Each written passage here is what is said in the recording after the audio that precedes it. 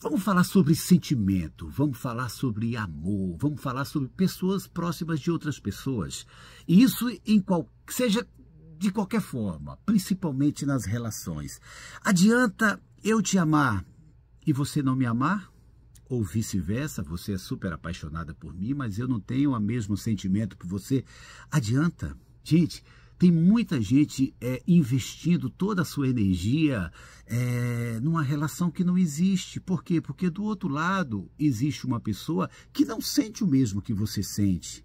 É tipo você passar e ver uma, um sapato assim, que é a coisa mais linda do mundo numa vitrine. Você, ah, eu quero esse sapato, eu quero esse sapato. Sapato lindo é o sapato que eu sempre sonhei. Você entra lá e pede, por favor, me traz aí um número 36. A pessoa fala, não, eu só tenho o número 34. Eu não tenho 36. E você fala, não, então eu quero. O sapato não cabe no seu pé. Ele não encaixa com você. Se você insistir em colocar, vai machucar, vai ferir seu pé, vai fazer calo, vai sangrar, vai doer.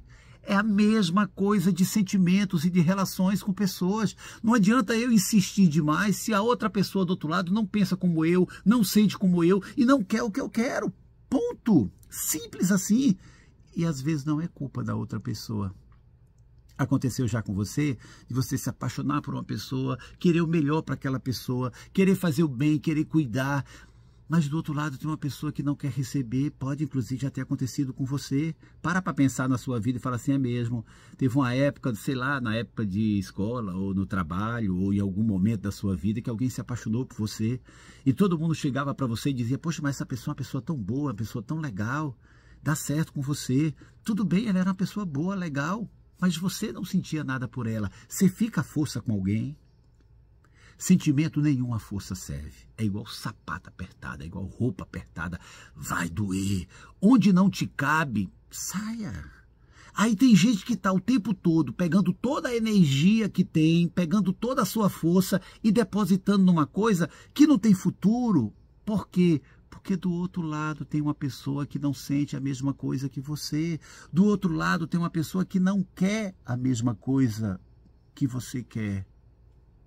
E tudo bem. Não adianta a gente forçar. Você está entendendo?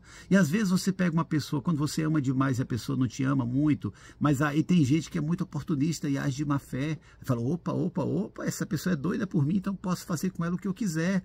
É daí que vem as pessoas que usam as outras pessoas. Deixa você, entre aspas, guardada ou guardado no lugar e só usa quando tem vontade. Sai para uma balada, sai com os amigos, vai beber, vai tomar, vai investir em outras mulheres. Se não deu certo com ninguém na madrugada, ei, tá aí? Queria te ver.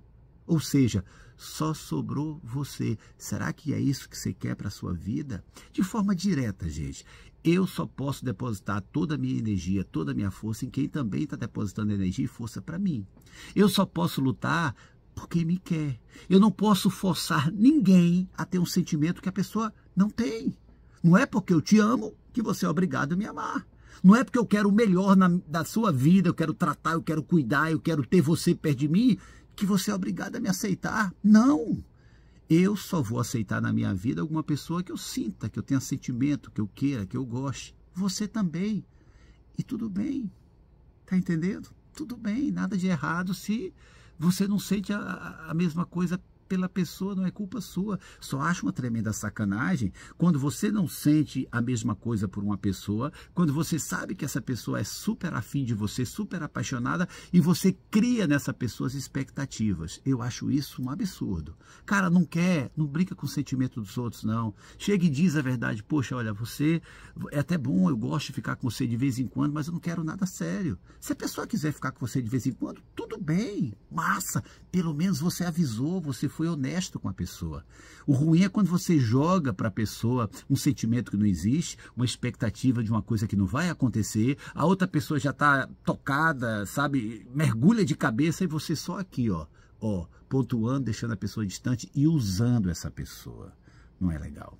Então para para pensar, onde é que você está depositando sua energia, onde é que você está investindo, onde é que você está tá querendo se meter, se essa pessoa se abre para você e ela quer a mesma coisa. Se não, é melhor cortar logo no comecinho, porque depois você vai sofrer, quando a raiz estiver bem profunda é muito mais complicado.